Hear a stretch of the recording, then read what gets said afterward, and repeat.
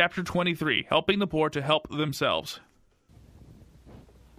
Educate the poor to be self reliant. Men and women of God, persons of discernment and wisdom, should be appointed to look after the poor and needy, the household of faith first. These should report to the church and counsel as to what should be done.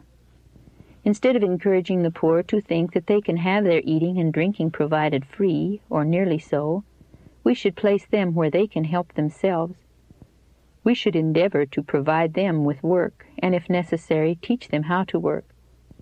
Let the members of poor households be taught how to cook, how to make and mend their own clothing, how to care properly for the home. Let boys and girls be thoroughly taught some useful trade or occupation. We are to educate the poor to become self-reliant. This will be true help, for it will not only make them self-sustaining, but will enable them to help others. Testimonies, Volume 6, pages 278 and 279. A call to men of thought and means. The question will often arise what can be done where poverty prevails and is to be contended with at every step?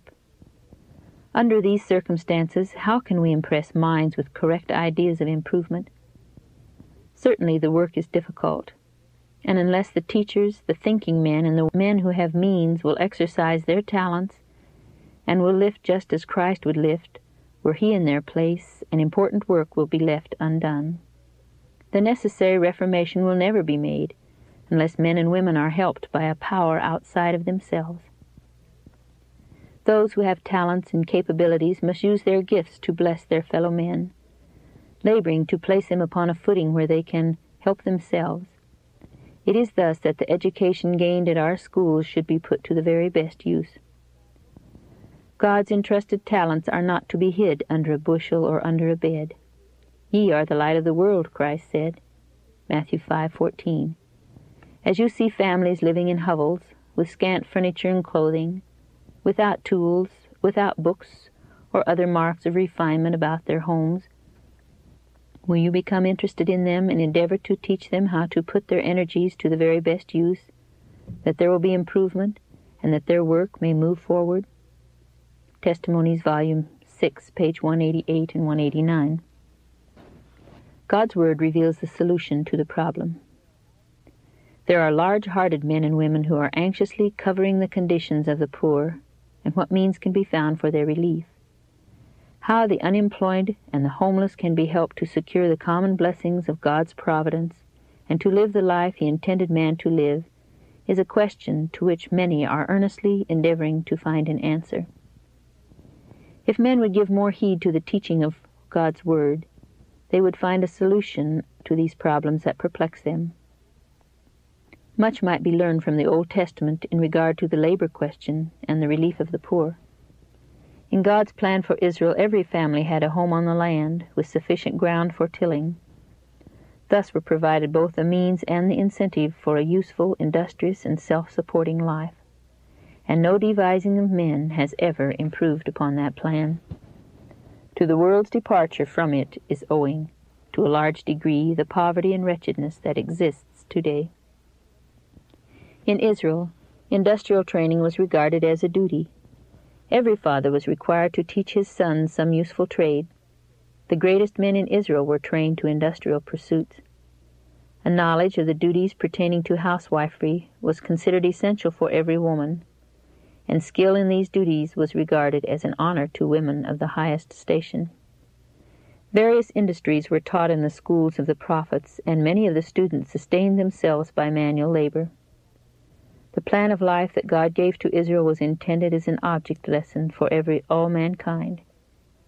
If these principles were carried out today, what a different place this world would be. Ministry of Healing, pages 183 to 188. Multitudes might find homes on the land. Within the vast boundaries of nature, there is still room for the suffering and needy to find a home. Within her bosom there are resources sufficient to provide them with food. Hidden in the depths of the earth are blessings for all who have courage and will and perseverance to gather her treasures. The tilling of the soil, the employment that God appointed to man in Eden, opens a field in which there is opportunity for multitudes to gain a subsistence. If the poor now crowded into cities could find homes upon the land, they might not only earn a livelihood, find health and happiness, now unknown to them. Hard work, simple fare, close economy, often hardship and privation, would be their lot. But what a blessing would be theirs in leaving the city, with its enticement to evil, its turmoil and crime, misery and foulness, for the country's quiet and peace and purity. If they ever become industrious and self-supporting, very many must have assistance, encouragement, and instruction. There are multitudes of poor families for whom no better missionary work could be done than to assist them in settling on the land and in learning how to make it useful and yield them a livelihood. The need for such help and instruction is not confined to the cities. Even in the country, with all its possibilities for a better life, multitudes of the poor are in great need. Whole communities are devoid of education in industrial and sanitary lines.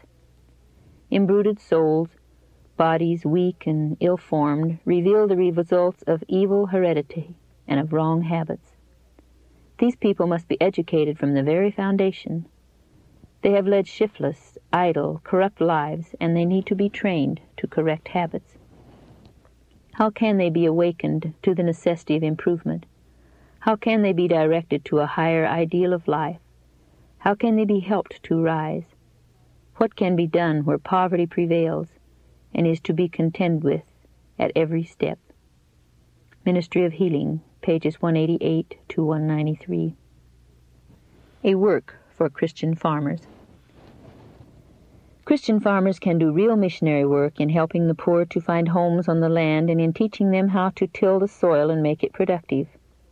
Teach them how to use the implements of agriculture, how to cultivate various crops, how to plant and care for orchards. Many who till the soil fail to secure adequate returns because of their neglect. Their orchards are not properly cared for. The crops are not put in at the right time, and a mere surface work is done in cultivating the soil. Their ill success they charge to the unproductiveness of the land. False witness is often borne in condemning land that, if properly worked, would yield rich returns. The narrow plans, the little strength put forth, the little study as to the best methods call loudly for reform. Ministry of Healing, pages 193. Even the poorest can improve their surroundings by rising early and working diligently. It is by diligent labor, by putting in the wisest use every capability, by learning to waste no time, that they will become successful in improving their premises and cultivating their land. Testimonies, Volume 6, pages 188 and 189. Establishment of industries. Attention should be given to the establishment of various industries so that poor families can find employment. Carpenters, blacksmiths, and indeed everyone who understands some line of useful labor should feel a responsibility to teach and help the ignorant and the unemployed. In ministry to the poor, there is a wide field of service for women as well as for men the efficient cook, the housekeeper, the seamstress, the nurse. The help of all is needed. Missionary families are needed to settle in the waste places. Let farmers, financiers, builders, and those who are skilled in various arts and crafts go to neglected fields to improve the land, to establish industry, to prepare humble homes for themselves and to help their neighbors. Ministry of Healing, page 194 help men to help themselves. By instruction in practical lines, we can often help the poor most effectively. As a rule, those who have not been trained to work do not have habits of industry, perseverance, economy, and self-denial. They do not know how to manage. Often, through lack of carefulness and right judgment, there is wasted that which may, would maintain their families in decency and comfort if it were carefully and economically used. Much food is in the tillage of the poor, but there is that is destroyed for want of judgment. We may give to the poor and harm them by teaching them to be dependent. Real charity helps men to help themselves. True beneficence means more than mere gifts. It means a genuine interest in the welfare of others. It should seek to understand the needs of the poor and distressed and to give them the help that will benefit them most. To give thought and time and personal effort costs far more than merely to give money. But it is the truest charity. Ministry of Healing, pages 194 and 195. Physical effort and moral power required. Physical effort and moral power are to be united in our endeavors to regenerate and reform. We are to seek to gain knowledge in both temporal and spiritual lines, that we may communicate it to others. We are to seek to live out the gospel in all its bearings, that its temporal and spiritual blessings may be felt all around us. Testimonies, Volume 6, page 189. Unwittingly injured. We may err in making gifts to the poor which are not a blessing to them, leading them to feel that they need not exert themselves and practice economy, for others will not permit them to suffer.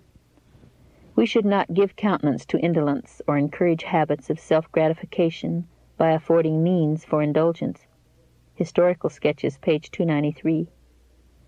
You may give to the poor and injure them, because you teach them to be dependent. Instead, teach them to support themselves. This will be true help.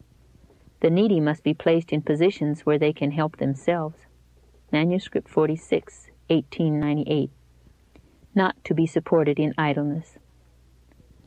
The Word of God teaches that if a man will not work, neither shall he eat. The Lord does not require the hard working man to support those who are not diligent.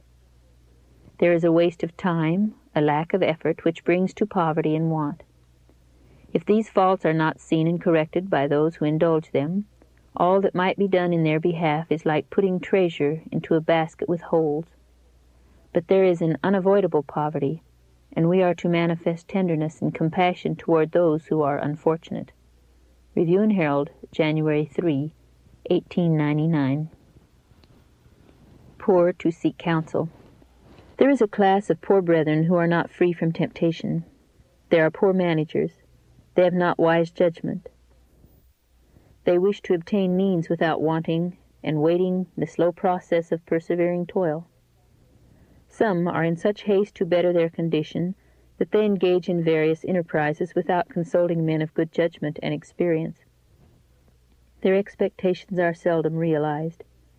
Instead of gaining, they lose and then come temptation and a disposition to envy the rich. They really want to be benefited by the wealth of their brethren, and feel tried because they are not. But they are not worthy of receiving special help. They have evidence that their efforts have been scattered. They have been changeable in business, and full of anxiety and cares which bring but small returns. Such persons should listen to the counsel of those of experience but frequently they are the last ones to seek advice. They think they have superior judgment and will not be taught. These are often the very ones who are deceived by those sharp, shrewd peddlers of patent rights whose success depends upon the art of deception. These should learn that no confidence whatever can be put in such peddlers. But the brethren are credulous in regard to the very things they should suspect and shun. They do not take home the instruction of Paul to Timothy. But godliness with contentment is great gain.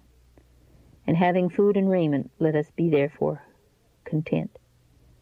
Let not the poor think that the rich are the only covetous ones.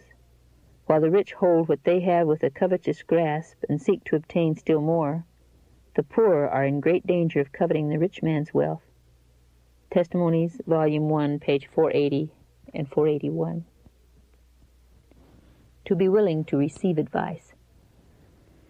Many lack wise management and economy. They do not weigh matters well and move cautiously. Such should not trust to their own poor judgment, but counsel with their brethren who have experience.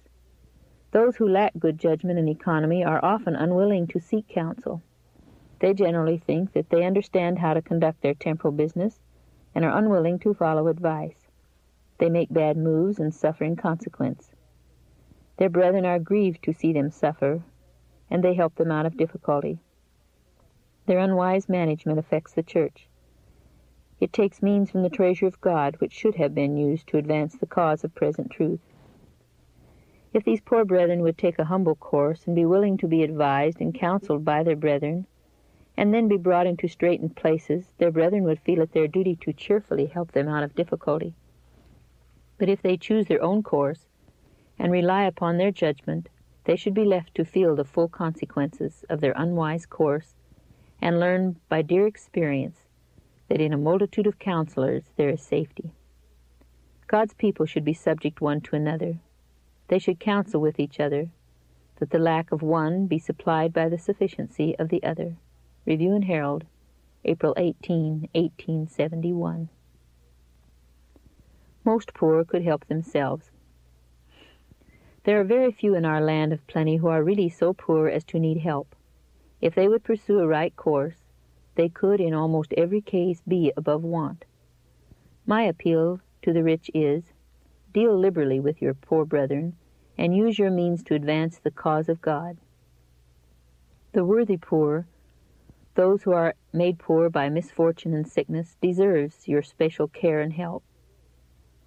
Finally, be all of one mind, having compassion one of another, love as brethren, be pitiful, be courteous.